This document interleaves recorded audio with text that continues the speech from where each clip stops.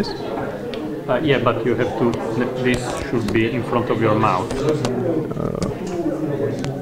so it's maybe it's. It's the other way around. Oh, sorry.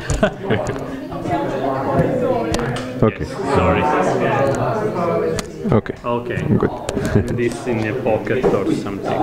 In your pocket, it's. Maybe it's uh, Just be sure that it's not uh, moving. okay. Okay, and here you have also the the pointer. Mm-hmm. The it's in the middle. Okay. Okay.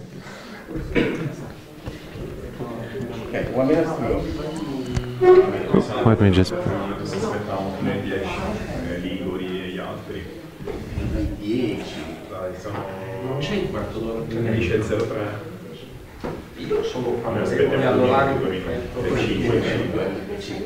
Allora andiamo tutti a prenderci un caffè. Eh, sì. Alle 5, 5 iniziamo.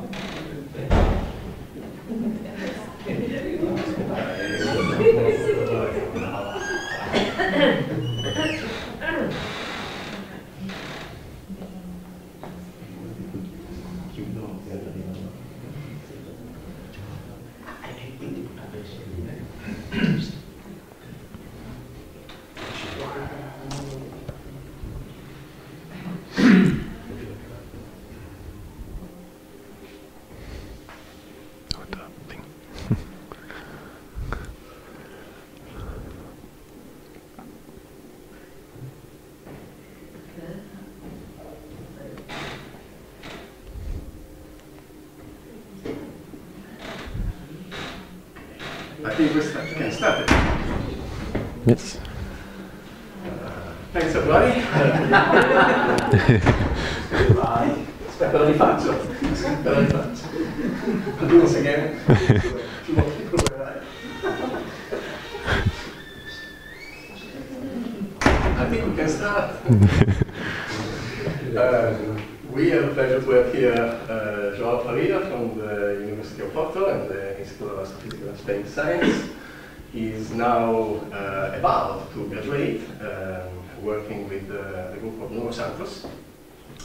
And uh, we'll have the pleasure to hear about the uh, main topic of his um, studies um, in Portugal, uh, which will be centered about the search for uh, mass planetary systems around stars with low metal content. Yeah, thank you. Uh, just start the timer. Okay, thank you very much, Alexander. Thank you to, to Mario and to Aldo for, for receiving me so well here. It's a pleasure to, to be here, and thank you all for coming. Uh, yes, I'm, I'm João. I'm a PhD student. I'm trying to finish my PhD until uh, in the beginning of next year. I planned to talk, um, so I submitted this, this title for, for you uh, about the low mass planets around metal poor stars. This is a program that we're conducting to search for, for these planets in a sample of metal poor stars. But I, I decided to focus a bit more on the, on the subject, on the actual subject that brought me here. And so I'll use this uh, metal poor program as a theme to, to set up uh, the, the methodology that I've been developing in the last few few years to to deal to search for for these planets. So the actual title, more or less, that I changed a bit will be how to find uh, exoplanets and how to deal with stellar activity in in radial velocity uh, datasets. So a small outline of the talk. I'll just I'll start with uh, motivating why I'm doing this this work, why I'm trying to find these planets. So there is, uh, I'll talk a bit about the connection that exists between planets and stellar metallicity. Uh, then I'll go into uh, the problem that stellar activity now poses for for the detection of uh, of exoplanets, of small exoplanets, and I will describe a pipeline, a new method that I've developed uh, to to detect these these planets in radial velocities, and then I will uh, say a bit about the the search for the, this program uh, with with metal poor stars. So uh, please interrupt me at, at any time or uh, ask anything if I'm not clear. So, okay, so the connection between planets and stellar metallicity. Stellar metallicity, we have to see it here as a proxy of the metallicity that was in the disk uh, when the planets formed. And so it's, it's clear that uh, the amount of uh, metals, the metal content in the disk uh, during the planet formation will somehow affect the, this, this process of planet formation and uh, the properties of the planets might change depending on uh, on the metallicity that was in the disk and so we can see it now as the metallicity that is in the in the star and so there is uh, we can search for connections between properties and the uh, existence of planets and the metallicity of their host stars and already in uh, 97 and 98 so a few years after the first uh, planet was discovered after uh, around 51 Peg. Uh, uh, Guillermo Gonzalez found that um, almost all stars that uh, had giant planets, orbiting giant planets, were metal rich when compared to other stars that were not not orbited by by some planets. And so in this case, he did some analysis. This was uh, early in the in the exoplanet the detection. So we had about six, seven, eight uh, systems with giant planets, but they were mostly metal rich. So there was a, big difference between the metallicity of those host stars and uh, sample uh, and uh, field stars. And this became more clear as we had uh, more more planets, more detections, and so by 2001, this was there was a difference in the mean a metallicity of about 0.25 dex between hosts of giant planets and non-hosts. And so it became clear that the, this can be translated into uh, a, a, result that it's easier to find a giant planet orbiting a metal-rich star. So the occurrence rate, the frequency of planets, of giant planets, is a, a rising function of stellar metallicity, of a steep rising function so this became clear from radial velocity surveys. So at, uh, at the time, CORALIE and, and WEAK um, and the Keck survey showed that this result, uh, the giant planets are much easier to find around metal-rich stars. Uh, later, there was, so Kepler came along, it found um, lot of small planets, not just giant planets. So what's what's happening? Does this uh, metallicity relation hold for small planets as well? and it seems that uh, it doesn't. So for the case for small planets uh, smaller than 1.7 Earth radii, uh, Buchhave and Latham found that the there was no practically no difference between the the metallicities of hosts and non-hosts. Thank you. So, but but with Kepler and with transit surveys in general, it's a bit hard to do something that it's easier in RVs, which is to be sure that a, a star doesn't have a planet because of the way that transits work. So you are never too sure if, if it's just an orbital, uh, the, the inclination that it's not right for you to see the planet, or if the star doesn't really have a planet. Of course, we can, we can model, we can deal with that uh, effect, but it's not so easy to find to define a control sample. So a sample that we know doesn't have planets. And so there was there were a few contradictory results with Kepler with the Kepler sample, because some authors find um, no difference in the metallicities for uh, small planets. Some authors find a few uh, small difference, but for example, in a recent paper, the um, the, they found that the planets with at smaller orbital periods, so closer to their host stars, do show uh, do show up more in metal-rich stars and less in. This is for any mass of the planet or? or no, for for the same planet, so smaller than. Um, sorry, smaller than. Okay. Yeah, smaller than 1.7. Yeah. So we don't know their masses, but they are small planets. Um, and you see that as the as they go further away from the star, the the metallicity enhancement of the hosts is not is not so clear. So they they have slower metallicity, and so it became it's becoming clear also that uh, not only the occurrence of the planets changes with metallicity, but there's also an effect of the orbital period, and so there's an effect of the migration of the planets, how it how they evolve. Maybe maybe it's playing an effect. So they evolve differently in, in systems with with different metallicity. Uh, for planets, small planets that we do don't know the mass, so from radial velocity surveys, what we found back back in 2011 was that contrary to the giant planet uh, distribution, the the one for for Neptune-like planets at that time, we only knew about 10, but this was rather a rather flat distribution. So it seemed that the occurrence of Neptune-like planets didn't depend too much on, on metallicity. Sorry, this is again from radial velocity. This now this is from radial velocities, yes. So now we know their masses. Okay, and this this is from the results from the survey with with HARPS with with radial velocities. Um, of course, this changed a bit now that we know a few more. So we, we know about uh, 100, 150 uh, planets with these masses, so Earth-like, Neptune-like uh, masses, and very recently as well, uh, al. found that first there is there seems to be a clear uh, upper boundary for the mass of the planet, that which depends strongly on on the metallicity. Okay, so for metal-rich uh, stars, the the planets form and uh, the planets may be may form heavier planets. Okay, but for metal poor stars, the there is a, an upper boundary. And this boundary also depends on the period again. So we see it, it also increases with the period. So uh, at longer periods, there is less uh, low mass planets. But uh, an interesting uh, result here is that when, when we start to have more planets, and so we start to be able to separate between those that are Neptune mass and those that are super Earth, so smaller than 10 Earth masses, we do start to see a difference in these two populations. So the, the Neptune mass planets show some uh, metallicity enhancement relative to, to non-hosts, but the um, super Earths, uh, no. So maybe what it what happened here also was that we were mixing up. So here we're just dealing with low mass planets, so everything is smaller than than uh, 0.1 Jupiter masses, and maybe now that we have more, we are able to distinguish these two populations of of planets.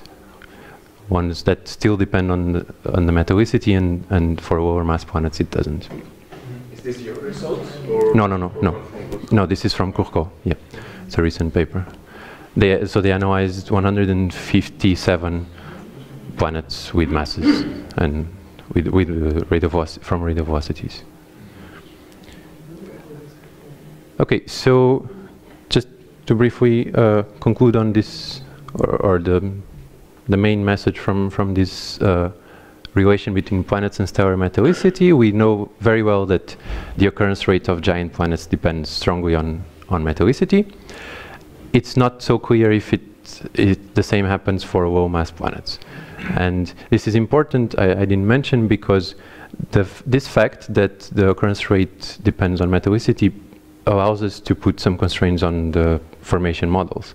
And so some formation, some planet formation models predict this dependence, others don't. And, or, or it's not so easy to get this dependence. And so we can place constraints on the formation models with these, with these observations. So for, for smaller planets and low mass ones, it's not so clear so far if, if there is uh, an effect or not, or if there are two populations of Neptune-like and Earth-like planets. And so migration may uh, we we are starting to see that migration may may play a role because there is uh, a dependence on the orbital period distribution, but it's not so clear yet what what is happening.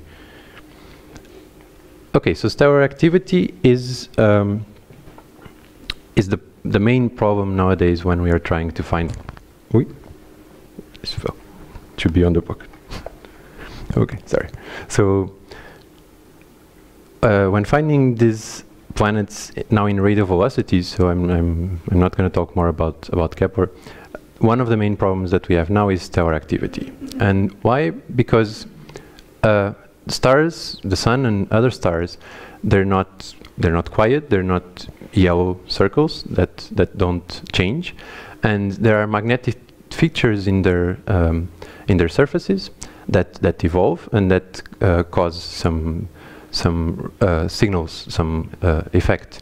So in this case, we have uh, sunspots, and around them, usually we have plage or faculae, and you also see that faculae sometimes can show up alone, and that's going to be a bit uh, important. But we have this magnetic activity that changes with the activity of the star. So it changes uh, of the, on the on the order of, of a few years, uh, 11 years for the Sun or 22, and for other stars we expect the same, the same changes. And also, uh, it obviously changes with, so these are magnetic features in the stellar surface, so they change with the rotation of the star. The features that we see change with as the star rotates. And it's easy to see that this, uh, the presence of any feature in the uh, stellar surface will create a radial velocity signal because as the star rotates, this hemisphere is, is coming towards us, so it's blue shifted. The other hemisphere is red shifted. So if we if we put a spot, or if we if, if this is a planet, this is the Rossiter-McLaughlin effect. If it's a spot, it's just stellar activity. So if we put a uh, spot there, it blocks some of the redshift, uh, the blue shifted flux, so the star appears redshifted. Okay, as the spot goes on the other side, the it blocks redshifted light, so the star appears blue shifted. So this the um, presence of the these magnetic features in the solar surface creates a radial velocity signal, which can go, uh, which was realized very early that this could happen, and it, can be uh, important. It can be of the order of five meters per second. Important to re to remember you that um, the effect of an Earth-like planet on a sun-like star is about 90 uh, centimeters per second. So it's it's these effects are considerable when when we want to reach the Earth mass, planets with the Earth mass. Um, but the sunspot is not dark like uh, the spot of a planet. No, no, it. So it's we simply that it's emitting uh, with. Uh, well, there there is there is the the it's darker than the surface. So we can consider it as just a dark spot, and it will have, it will block yeah, the light. The sun is simply that the black body uh, emission is uh, at uh, 4,000 Kelvin instead of uh, 6,000. Yes, Kelvin, yeah, so yeah. Emitting. Yeah, but we. It's not a spot like a planet. No, it's not. But it has some some contrast. So exactly the same. the effect is the same. Yeah, right. I mean, we can approximate it as having a contrast of one, and just saying it's it's a spot. More blue light shift and black light than the red shift. Yeah. Because Yeah. of rotation, right? Yeah, because as the star rotates, yes, Actually, that would be the rotation proje- projected on the sky. exactly. Yeah, yeah. So we see that this this signal, this signal will depend on the rotational velocity of the star. It's one of the main dependencies. But I didn't tell you. Obviously, this works for spots, but but it also. You, you have, a- in the audience, you have a mixture of uh, solar physicists. I know, yes. Okay. Okay. so this is within questions. Yes. It means that we think that that's a black spot. yes. It's not. Yes. It's It's not. It's not. But darker. yeah, it's darker than the surface. Yeah. Dark enough that it blocks some of the flux. Even astronomers know that. No, but I mean, is, is emitting, uh, uh, this, uh, for instance, this is, if it is a sunspot, is emitting uh, blue shifted emission like the rest of the photosphere. But less. Yes, A little less, Yes. but not less like, Yeah. not less like a planet. No, no, no, but when you have... No, but Yeah. Noise, Just the there is noise. noise in the, in The the, signal. in the Yes. shift of the spectrum. Yeah. That's, that's So there, there is a radial velocity signal that appears, a contamination that appears from, from these features. And not just spots, also uh, faculae. So bright uh, points in the stellar surface also have a flux effect, which is much smaller because they are they're not as bright as the spot is darker. But they also have another effect, which is in these regions, in these magnetic regions, they uh, uh, the when there is the the magnetic region in the spot, the convection doesn't happen as as uh, efficiently, and and so they have the plage uh, show uh, convective blue shift, uh, block the convective blue shift that happens normally in these in these magnetic regions. So not just the spots have uh, effect, but also the plage show an effect, and you can see here the effect of one spot crossing the, the equator of a star in the flux of the star, the effect of the plage, in the rate of velocities. The effect of the plage is always uh, a positive shift in the in the rate of velocities, and uh, this is just some some indicators, some activity indicators that, that I'll talk about later, which also show uh, a difference. So they also depend on on the presence of these features. So it was it became clear that when we are searching for planets and uh, with radial velocities, if we want to actually detect the planet and interpret radial velocity variations as due to a planet, we have to make sure that these variations don't come from the photosphere. So we have to separate the two the two signals somehow. One of the ways that we can do this is to use uh, spectral, uh, some indicators in the spectra of the star that don't depend on the presence of the planet, but change with, with the photospheric uh, activity. And when the spectral line profiles are constant, uh, so they don't, the profile of the spectral lines doesn't change, we, we can say that it's, the signal is due to the planet. If they do, uh, we we say that it's instead uh, activity, stellar activity that's that's creating the signal. And for example, one of the first indicators was was the bisector span. So it's just a measure of the asymmetry of the spectral lines. And you see here that for for for the case of this star, it correlates very well with the the change in the rate of velocity. So rate of velocity, bisector span, the asymmetry correlates well with the is, what I read on the, on that, on the right is, is for a non-rotating star. Because then I'm confused. Because he talks about, he talks about Yes. star center of mass. Yeah, so uh, the star center of mass. So Pure perturbation effect on star as a, as a, as a point-like source. the, the one from the planet. I mean, Y- that's not y- in your y- statement. yes, yes.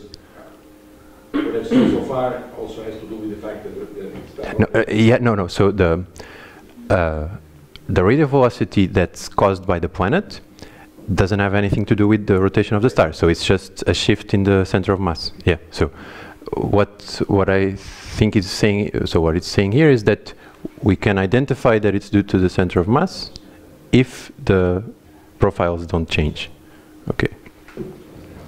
And so this is the bisector span, so we can use it to to find or to have a clue that some of the signals we see in radial velocities are not due to planets, they're due to stellar activity. Of course, the problem is even if we uh, can can find that, can find correlations between the radial velocity variations and the activity indicators, it's still hard to correct for them. So it's still hard in an active star to find uh, the planets if, if they if they are if there are activity contaminations. so I wanted to present you the, an example of CoRoT 7, which is a very active star that was observed with the Coro satellite. And so you see here the, the modulation of the light curve of this of this star, which shows uh, big dips due to the presence of spots in the in the surface, and you can identify the rotation period of the star from these from these variations. So these are variations of up to two percent, uh, if I'm not mistaken. While on the sun we see variations about 0.5, 0.3 percent. Uh, So this is a very active star when compared to the Sun. And so from the white curve, uh, we identified one planet transiting uh, at 0.8 days, so about 20 hours of orbital period.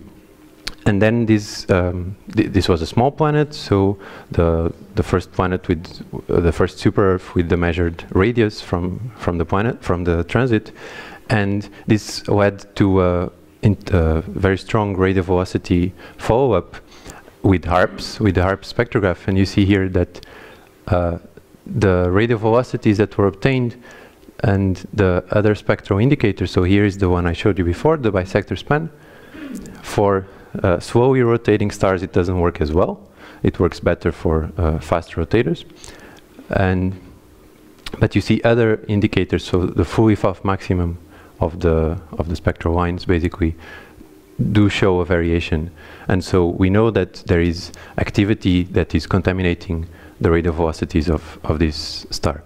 But now the, the point is, okay, if we still want to find the planets, uh, wh what do we do? How do we correct for, these, for this stellar activity? And different ways to correct for, for the stellar activity, we can do different things. Lead to or change the, the masses, the orbital parameters. Okay, so the, the different ways in which we correct uh, the radial velocities for this stellar activity effect can affect our determination of, of the masses quite a bit.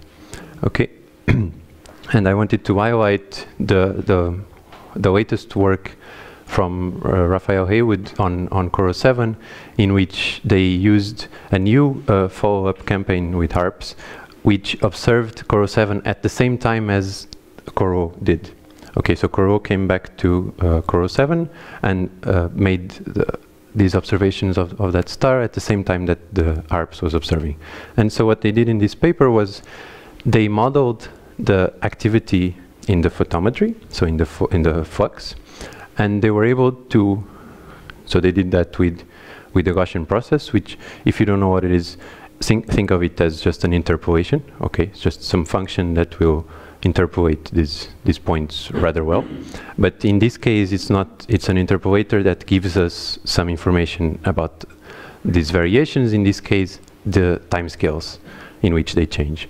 And so, from the photometry, they were able to identify the rotation period of the star, as I showed you before. So, so as you could see, is the the period of these of these dips, right? And also a time scale of evolution of these active regions because in the start there's not always the same active region. They, they evolve, they, the spots appear and disappear and change and so we can identify also a time scale of evolution of these, of these regions. Now having this, so having a model for stellar activity, we have the of velocities, we want to, to, to go and find the planets, what, what we need to do is to go from photometry to the radial velocity. So we need to translate this signal in photometry to a signal in radial velocities. And that's not very easy to do. In this case, they used uh, what's called the FF prime method, which basically says that if you multiply the flux and its derivative, you get the basic uh, signal coming in the radial velocities. And this is this was developed by Suzanne Aigrain. And um, so by doing that, they then they model the radial velocities with these two components. One component that is due to planets, okay, which is a, a, a simple component in the sense that it's just uh, a sum of Keplerian functions. We know what, what this is. And another component which is due from stellar activity and uses the information that we learned from the, um, from the photometry. Okay, those time scales, that, that function, it uses that information to model the stellar activity in the radial velocities. And they were able to compare different models, so a model without planets, a model with one planet, with two, and they were able to detect that this model with the two planets was the most probable, so you had the higher probability, and also to constrain the stellar activity in, in this, or to correct for the stellar activity in this star. So I so that's basically the state of the art in this in this uh, way of correcting uh, velocities for, for stellar activity. I also wanted to mention very quickly one of the main reasons that brought me here, which is uh, now in, in this in our small community of the radial velocities, uh, we're trying we're involved in this challenge, the radial velocity fitting challenge, which it's it's basically a hare and hounds exercise, which means that someone created uh, simulated data sets of stellar activity. We don't know what they are, and then we have to to analyze them all together to see to see what we find. And I, I find it funny that uh, at some point the asteroseismology community did a bit of of this with with oscillation codes, and so we're we're in that stage, I think, now of trying to uh, improve the way that we detect planets by using simulated data, by seeing what we're doing wrong with, because in simulated data we know the answer, so that's that's easier. And and the, an interesting result is that there seems to be a threshold in in the amplitude of the of the stellar of the planetary signals that we are not able to go uh, below that yet. so we're doing fine for the higher mass planets, um, but it's still hard to find even even with uh, data sets of 500 points of radial velocities. These, are, these are the best data sets that we have. It's still hard to find small, low mass planets. Okay, so basically to, to summarize this, it's clear that active regions on presence on the stellar surface induce a radial velocity contamination that, that we have to deal with, and it's there plus the, the signal from the planets it's uh, we can try to use some uh, spectroscopic indicators to to decorrelate the radial velocities to see if they are due to to atmospheric phenomena.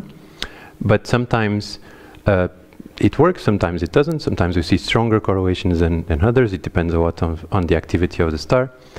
And we can also try to use simultaneous photometry to, to deal with, to place constraints on the activity. Of course, we don't have always simultaneous photometry. That it's it's quite expensive to get uh, radial velocity and photometry at the same time. And and the important thing is that in the different ways we do we correct for this, we get different results for the orbital parameters. So the the two the the way that we correct for activity necessarily needs to be uh, improved so that we get the best orbital parameters for the planets. And so I presented you with some sort of the problem. Now I'll present you with my solution to it, which uh, which is this this pipeline that that I developed to to detect the planets, and it's based on the fact that uh, so simultaneous photometry is very expensive to get. Uh, just radial velocities is a bit less expensive. So I went and I looked back at at CoRoT 7, and I said, okay, what would we learn if we just had of velocities and nothing else. We know nothing else about the star. so uh, the main question is this, can we build a model for the radial velocity variations that is simpler in the sense that it only uses radial velocities and but still can manage to deal with the with stellar activity and let's let's try so basically we have a time series of radial velocities we have n times uh, and radial velocity measurements, errors, and we need a model for these for this time series. We start with the systemic velocity of the of the system, okay, basic uh, basic uh, offset, and we start with planets.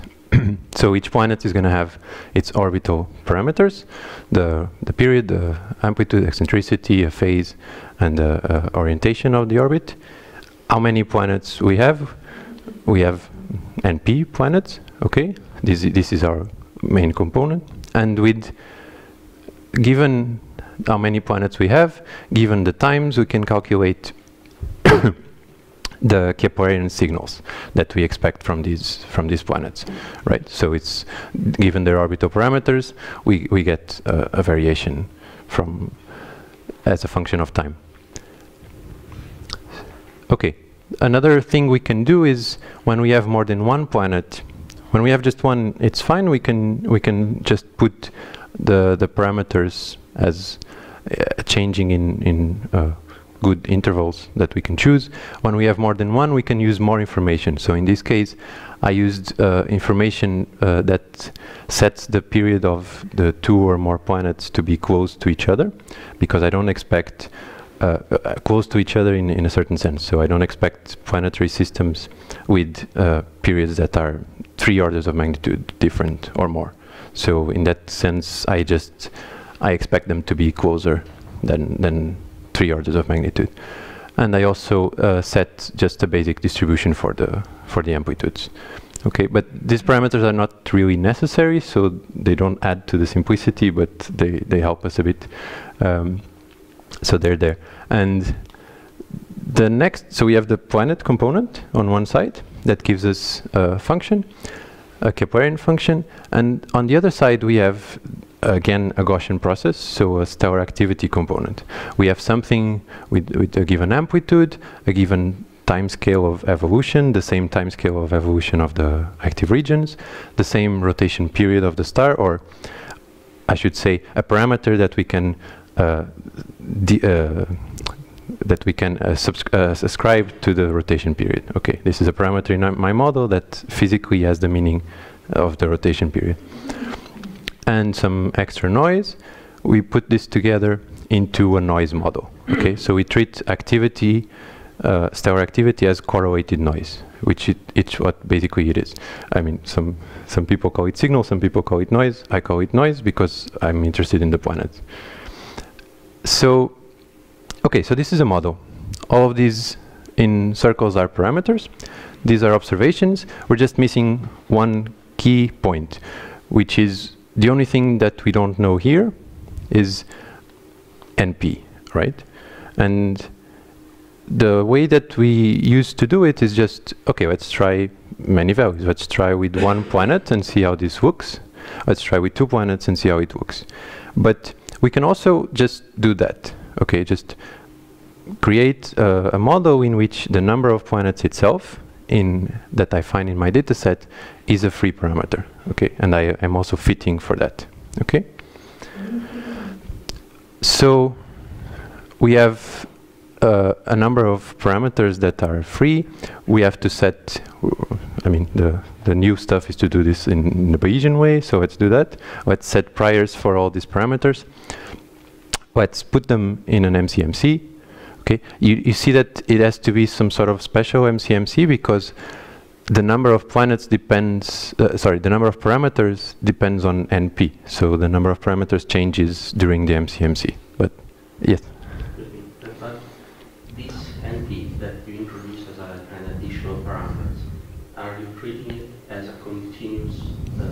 No, no, no, as a uh, discrete. Discrete, yeah, between zero and a given maximum value that I can choose. So zero, one, two, three, but but a discrete parameter. Yeah. Yeah. Yes, I, I know. This yeah, yeah, yeah, yeah. It's discrete. It's a, yeah. All the others are are all the others are continuous parameters. This one is a is a discrete one. And, and you see that the number of parameters in my model depends on it, right? and so it changes during the MCMC. That's that's the only difference between this sort of MCMC and the and the regular one. Otherwise, it's it's just an MCMC. So we we have priors, we have put them in an MCMC, we have data, we get posteriors, right? And so I went and I put here the radial velocity time series of CoRoT 7.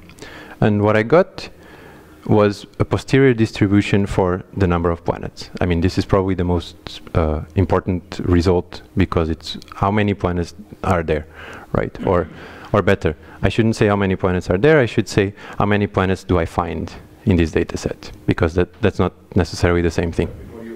Yes, yes, yes. Is this the only thing you estimate at the end of the MCMC run? Or you estimate for everything? For everything, yeah. Every, everything in circles gets it gets a prior and gets a posterior. Yeah, yeah. And B is your most important.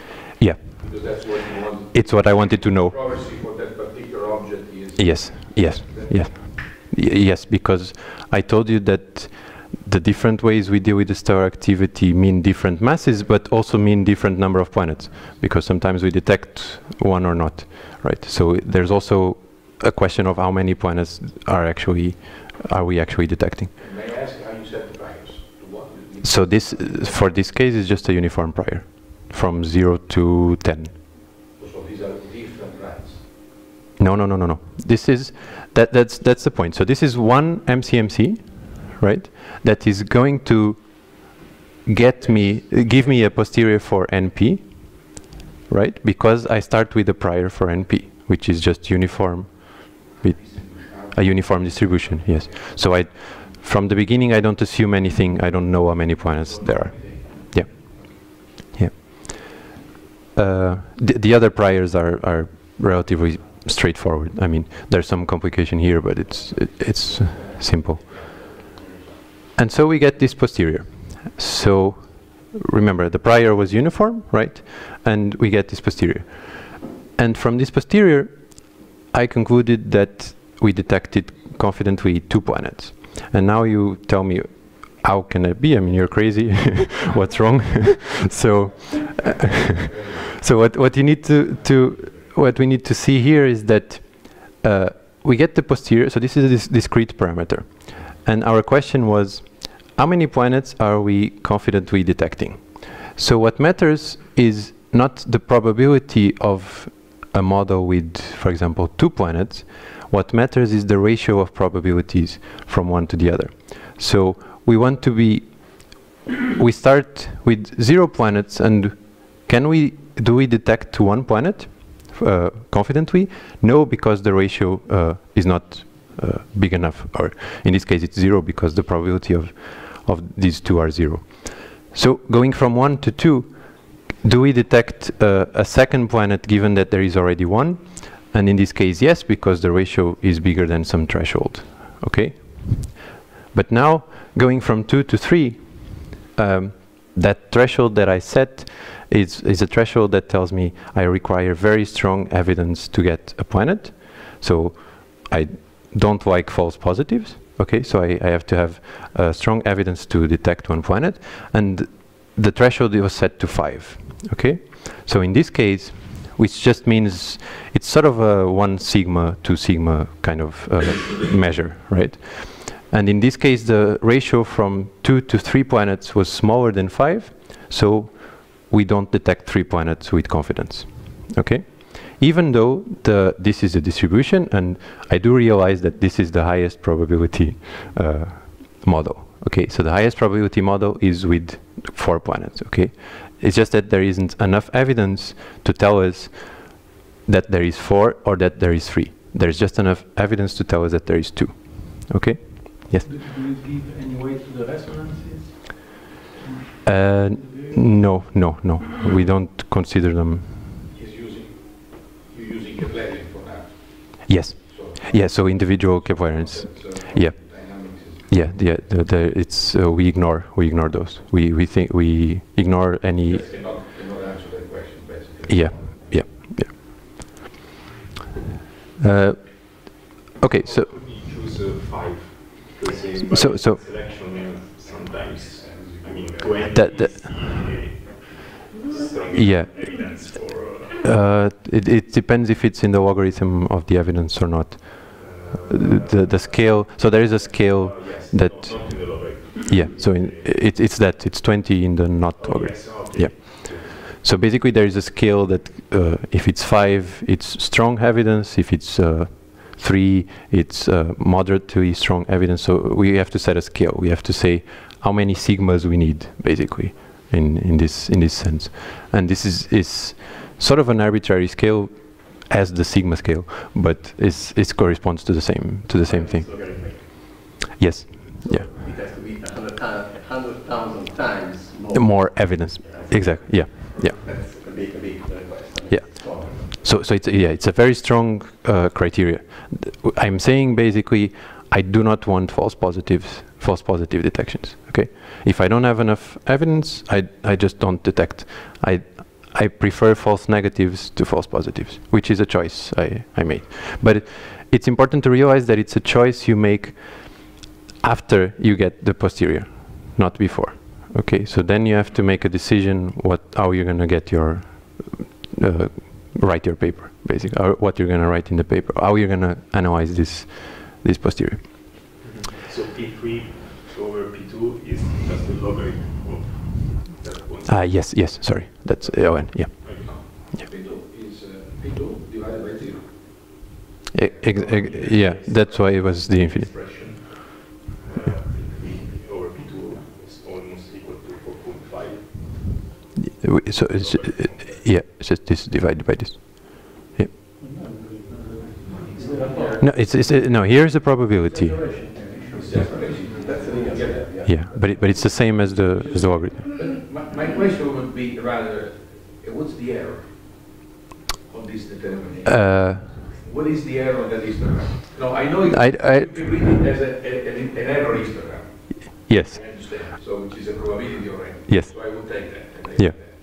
But in principle, now, question, the specific question is, is this one, one big run of an MCM, uh, MCM technique? yes, yes. In principle, you could do many runs, in theory, although the Monte Carlo. yes, you could- yeah. In the, in the, in the, in the method, but. Exactly. You, you that method to actually determine, to determine one output of this. Yes. If you do many runs of this, it's uh, formally the same as as continuing. The the random generators, of course, the seeds. Yeah, yeah, but but formally it's the same as just doing this run for a longer time. Would not be the same, exactly. It it it it, it for formally it is. I mean, if you do many MCMCs, I mean, in practice maybe not. I, uh, Well, I- okay. To the extent I know that method, which is not that big, not mhm. that big, but the, the Monte Carlo is embedded in there because it's a method of estimation to give you Yes. the result. Yeah. okay? So what I'm saying, in principle, if you do many runs, you get a histogram which is similar, mhm. not the same, just to see how those relative uh, uh, The values uh, change. Yes. Yeah. I don't know. Yeah, but but it, no, it does, it does. But I'm saying that that uh, process of running an MCMC many times, it's equivalent to just running this MCMC for longer, right? For longer steps, for more steps. Okay. And what I did was that I ran for enough steps that this didn't change much anymore. That's the final, Yeah. so, So it's it's it's already included that Monte Carlo. so if you take the others, you could do an RMS. Yes, yeah, yeah, exactly, yeah. I, I don't know the values, You- I think you Yeah. could at some point. I, yeah, I don't know the values. um, And as we're doing question time, I want to ask you, how many data points were you having uh, for? So it's uh, 170. Uh, This is, this is the same data that, that was analyzed before. That was, the number of parameters in a 10 plant model, it's 59, it's 59. Uh, so yeah, yeah, plus the ones coming from the Gaussian process. yeah, yeah, yeah. Uh, so you have, you don't have a lot of redundancy in the, the number of data points with respect to the model parameters. Yeah. So uh, maybe a word of caution there in trying to explore extremely Uh, higher, yes, uh, when you don't have data that yeah. will give you a lot of redundancy. Yeah, in in principle, uh, the so in the in any Bayesian analysis, there's a built-in Occam's razor, which means that planets that are uh, sorry models that are too complex are penalized if the data doesn't doesn't support them, and this is built in in the in the analysis. So the fact that there are many parameters is not necessarily a problem, in in the sense that. Uh, the, if the data tells us that there is, the, if there is information in the data, it will show up here. Otherwise, the, the model is just too complex and it will be penalized for, for being too complex. So, It goes down. yes, yeah. Just by the fact that we, uh, we prefer a simpler model uh, than, than, a, than a more complex. Because of the statistics, not because of the physics. Yes, yes. Yeah, there, there is no, yeah, yeah. So, so, okay, we got one posterior, right? We, we can get more. And in, we can also, I can show you the same plot as before, and we also get a posterior distribution for the masses of the two planets that we find, so we only find two. and which agree with the with the previous determinations to to within one sigma, we get the the best fit, which includes the two planets and the stellar activity signal. Okay, this is not just the the two planets, and we get this important this, uh, posterior distribution, which is the posterior for the eta 3, which was the rotation period uh, parameter of the star. And so using only uh, 170 radial velocities, nothing else, no other data, uh, we were able to, to detect the stellar activity good enough, uh, well enough that we could place a constraint on the rotation period. Two, th three years, uh, three years, I think. Yeah, Th there are there are many rotation periods. Yeah, yeah. And so so we get okay. Uh, I I know about the big error bars. They're they're obviously there, uh, but we we get an estimate of the rotation period which actually agrees with the one that that uh, was obtained from the photometry. Okay. In the stellar activity signal, do you ever have uh, uh, flares? No, no, no. In this case, no. There was no. I, th I think there was no evidence for for flares in the CoRoT Seven. At least in the, at least they were not seen in the radial velocities. I'm, I'm not sure if So the. there is no flaring stars.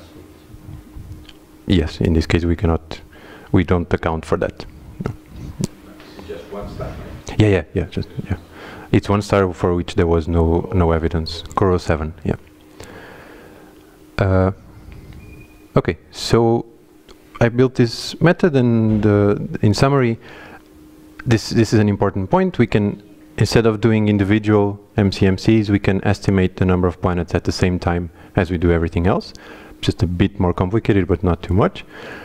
And it's interesting that the radial velocities themselves contain some information about the stellar activity. We don't need extra data, at least for CoRoT 7. For some other stars, maybe we, we will, will do.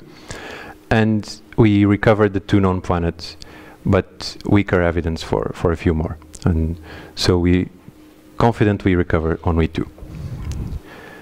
So just going quickly, I need to finish. So we have uh, a program running in, in Porto with, with HARPS and in which we're looking for for metal for low mass planets around metal poor stars. And basically the, the methods that I've shown you, I've been using them in, in these stars to, to try to detect um, low mass planets. In in the case in which we don't see uh, activity uh, signals, I just drop that part. I just consider the planets, but it's the same formalism. And sometimes we also see activity uh, variations in these stars. So here's the, the sample that we defined. We basically, it's a moderately metal poor sample of about 100 stars. And so like stars, here's we have 10 years of radial velocity data for some of these stars. And the um, so the in, the intrinsic errors, the the mean error bars are around one uh, meter per second. So this is the, the the precision that HARPS can can give us. And some stars show uh, uh, variation, so uh, RMS that is much bigger than the intrinsic error. So they have they have some variation that is unaccounted for with the with the errors. So this is as a function of the uh, uh, magnitude of the star. As a function of metallicity, it's also interesting to see because metal poor stars, in metal poor stars, it's a bit harder to to measure the radial velocity because they have less lines or less strong lines, and for uh, lower metallicity stars, we do get an, an increase in the in the errors that that come out of of of the HARPS observations, but but it's not a strong increase. So we have a few cases of uh, giant planets. So these are giant planets, okay, in these uh, in these stars, not low mass ones. And we find that uh, because we are following these uh, stars that we know have giant planets, because we want to look for uh, companions, okay. But in the in the residuals of this fit, we don't find anything uh, conclusive yet. We have also a few just uh, long-term trends which show that there might be a companion at a very long period. Again, in when we remove these, in the residuals we don't uh, see strong uh, signals that we can claim detections. And so, so far we don't have a lot of detections. Um, I just wanted to show you this uh, graph, which uh, so this as as the number of points, radial velocity points as we observe them, you see here the detection limits. So the mass and period of planets that that are in the green part we could have detected with this data set. The other ones we couldn't. Okay. And what's important here, forget about the jump there, or, or ask me what it is, but forget about it. Uh, what's important here is that uh, you need a substantial number of observations in order to push these detection limits down in mass. Okay, so for, for periods longer than 10 days, 50 days, uh, even if you uh, uh, make a lot of observations, they don't go down so easily. Okay, so uh, the detection of these low mass planets requires substantial observing time because we need to get many points in on the different time scales in order to push this. Yes, yes, yes. Just as as we observe them, and and this is calculated for for a different number of of points. So right now we're pushing towards finding planets at around 50 days with uh, a mass of uh, 10, 5 Earth masses. Okay, that's where we are with most stars. And so I, I, we published the analysis of the 15 stars that have the highest number of measurements in this program. So the ones that we are more confident of that we that we can reach these detection limits. And there's only one planet detection so far. It's a Neptune-like planet. Uh, it's also a complicated system, which I didn't mention, but it's it's not an easy. Uh, it wasn't an easy detection, and so I, I calculated a, a quick uh, occurrence rate and one detection in 15 stars. Of course, this is low number statistics, but it gives me a, a, a frequency of planets of about six percent, which is not. Um, which is outside of the, uh, different to the one that was computed for solar metallicity stars. So 12% occurrence rate of low mass planets around solar metallicity stars. And so this is for, for these stars, for these planets here. Um, so which is interesting, these results, because we might uh, be seeing that the, the, the, fraction is smaller than what we expected, because from planet formation models, so at different metallicities, we expect many, many low mass planets, and many more with uh, lower metallicities than with higher metallicities, but we are not finding them. And so we might be seeing the evidence that indeed maybe uh, they are just too far from the star and we're not sensitive to them yet, or maybe they're not there and we need to rethink the, the, the way this is constraining the planet formation models. okay, just take home messages. Uh, we know for giant planets what what's happening. It's unclear if the occurrence rate of low mass planets depends on uh, if and how it depends on stellar metallicity uh, activity can induce very easily radial velocity signals that make it harder to find, to detect these low mass planets. Uh, we've developed uh, a new uh, algorithm, a new method to, to deal with it, just using radial velocity uh, observations. And the current results from this decade-long search for low mass planets may be hinting us that uh, we have less detections than, than we expected, so he may be hinting us at some modifications of, of planet formation models. And I, I finish here. Sorry for taking a long time. Thank you.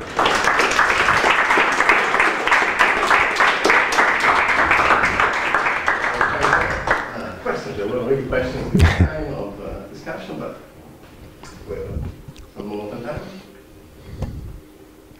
The choice of choosing a distribution from 0 to 10, so the limit at 10 that it's, it, it's arbitrary, yeah.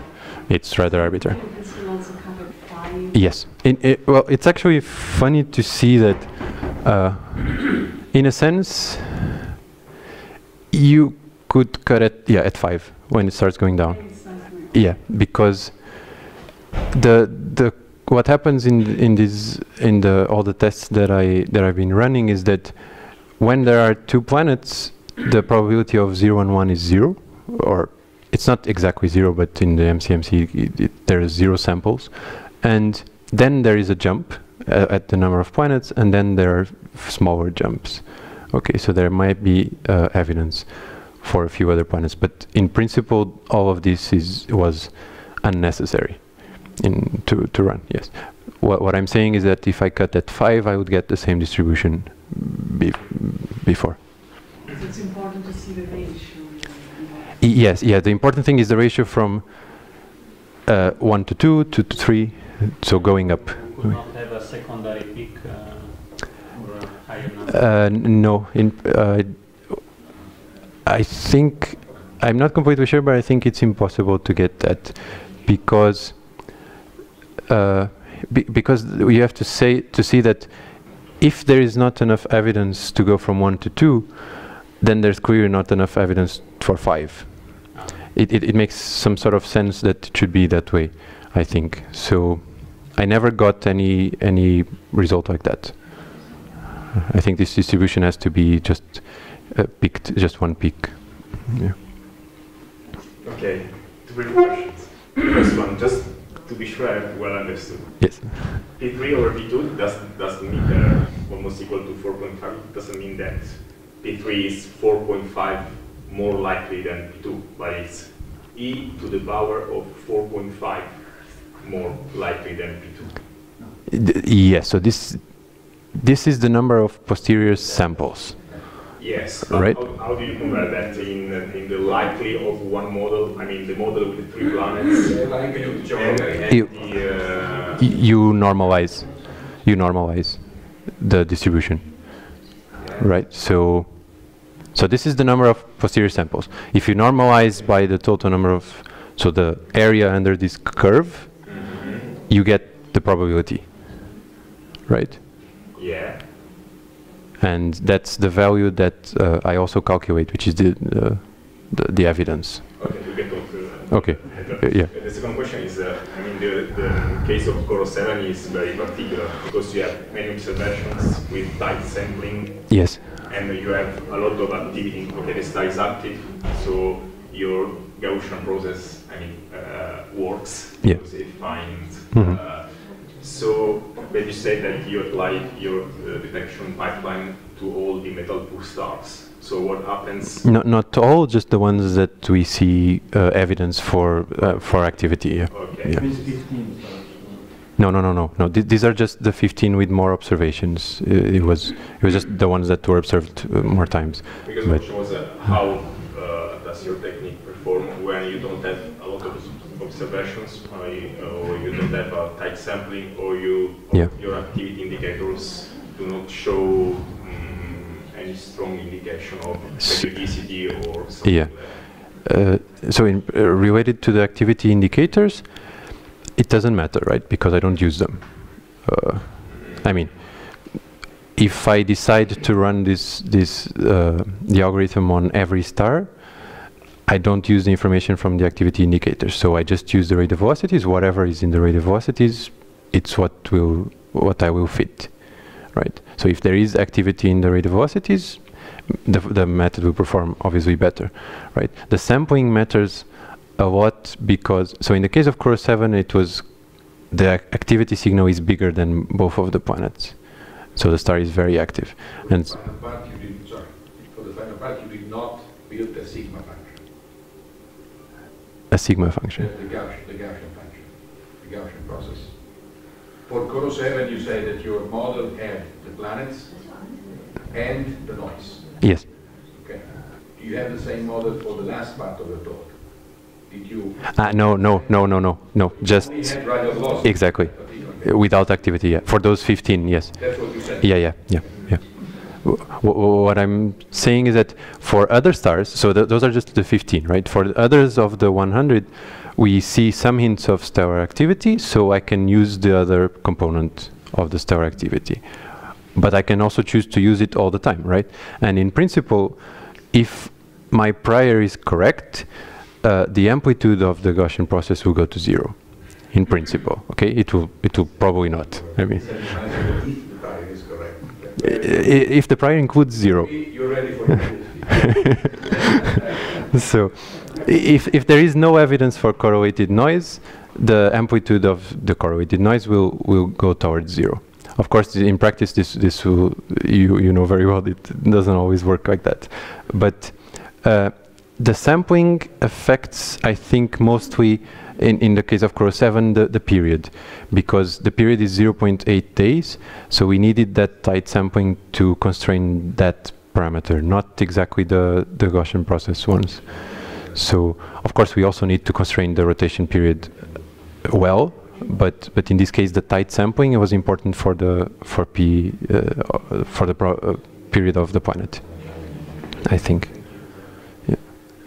Naive question. Uh, Yes. What happened with the, the star, the Jonathan? Ah, not naive at all because it's it's really it's really uh, a crazy jump. So what happened was that after 13 years of observations, uh, they decided to change the fibers in in HARPS, and the fiber, the fiber, yeah. Yeah. and uh, and with that there was there was an offset of about uh, 15 meters per second in um, in the radial velocities. Small, right? It's uh, 100. So this cubic it's 15, F 15, 20 depends on it depends on the full off maximum. 0.02 0.02 kilometers per second, right? So it, it varies as a function of star. Yes, it, it varies as a function of the full off maximum of the star, which is a problem because either now, I mean, for now for the analysis it's very hard because either we consider it, is, it as a new spectrograph, a completely different spectrograph with maybe different noise uh, uh, characteristics, or we just uh, push these points down by something that that depends on the star. But but we're not sure yet how to deal with that uh, optimally. But but it's it's One more question. I'm not sure if I understood the last part of your talk. So you have run your machine, your um, software on a number of stars, mhm. and you have selected the 15 more coverage. right? uh, yes Y- Uh, and uh, among these, you have found one planet, yes. which was already known. Uh, no, so I, I mean I found it, but it was published uh, by by our team sort of independently.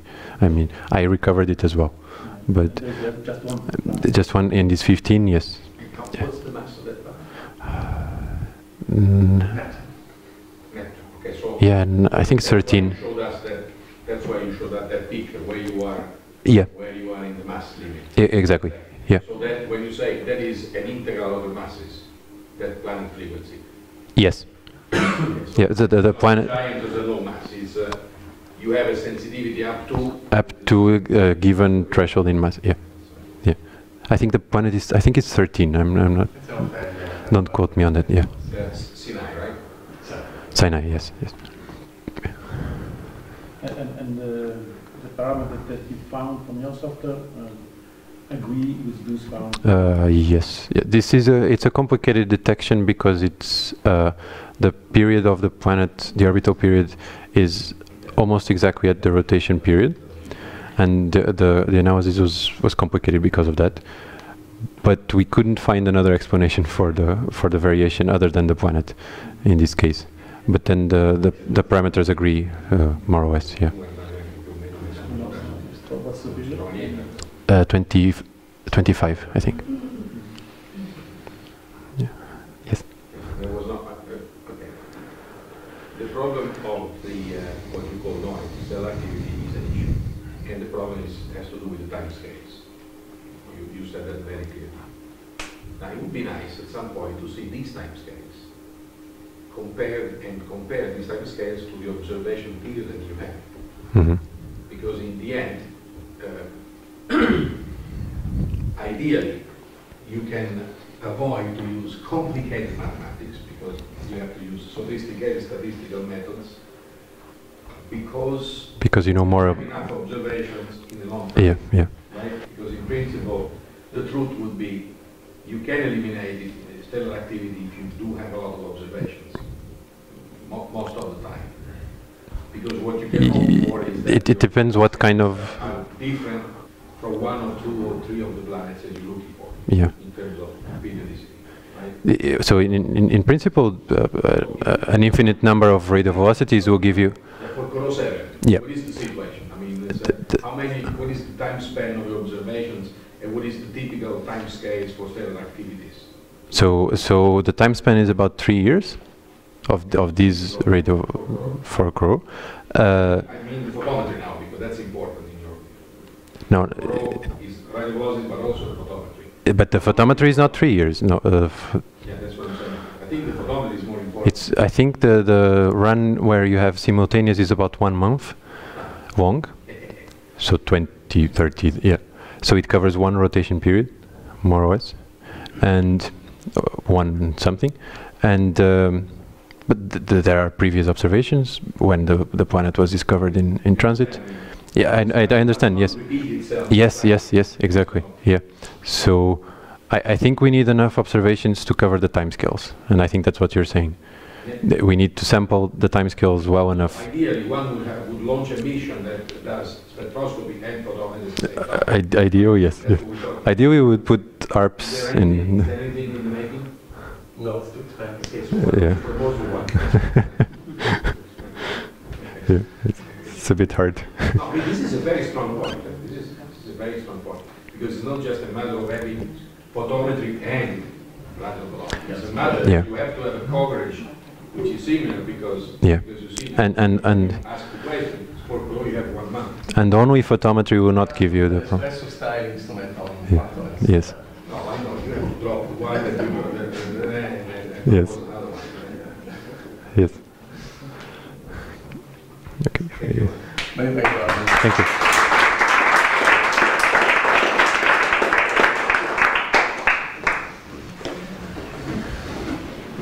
Very nice talk, thanks. Thank you. Thank you. Thank you. Thank you very much. Thank you. Thank you. it was a, a bit long, but okay. 50 something. With it. Uh, Continue discussion on the, on the.